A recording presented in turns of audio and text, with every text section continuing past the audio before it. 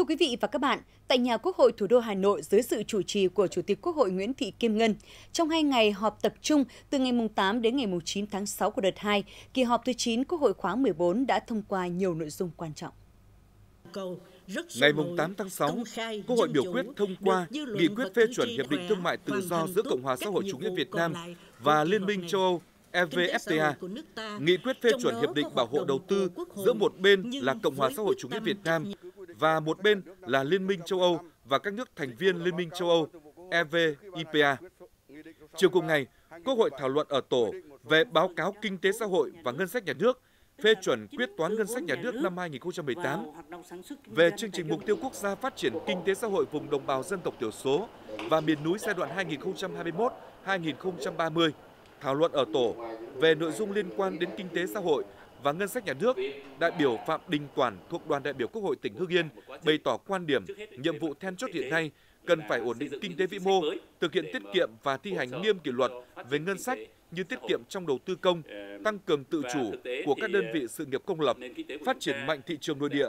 Đối với nội dung chương trình mục tiêu quốc gia phát triển kinh tế xã hội vùng đồng bào dân tộc thiểu số và miền núi giai đoạn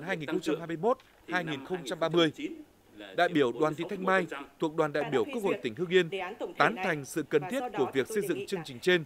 Tuy nhiên, đại biểu đề nghị ban soạn thảo cần ra soát lại khả năng cân đối vốn đầu tư công và liệu có đảm bảo tính khả thi bố trí vốn trong thực hiện hay không. Đại biểu Đoàn Thị Thanh Mai bày tỏ sự băn khoăn liệu có trùng lập nội dung trong các chương trình mục tiêu khác như giảm nghèo và xây dựng nông thôn mới vì vậy, cần phải cân đối để tránh lãng phí và việc lồng ghép các nguồn vốn như thế nào cho hiệu quả trong bối cảnh ngân sách eo hẹp.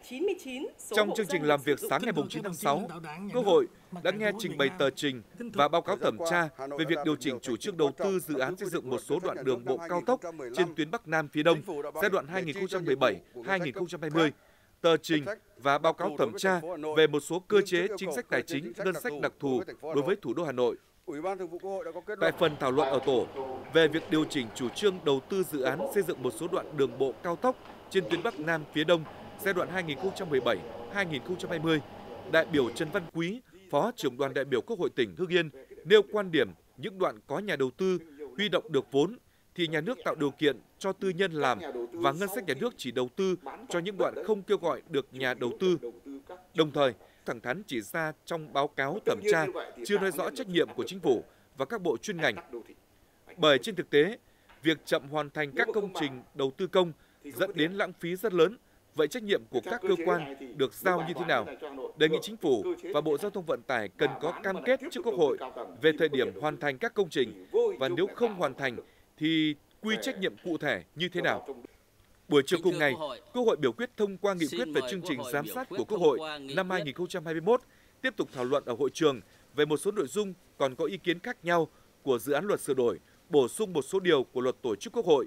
Cơ quan trình và cơ quan chủ trì thẩm tra phối hợp báo cáo làm rõ một số vấn đề đại biểu Quốc hội nêu trong phần thảo luận ở tổ tập trung về dự án luật cư trú.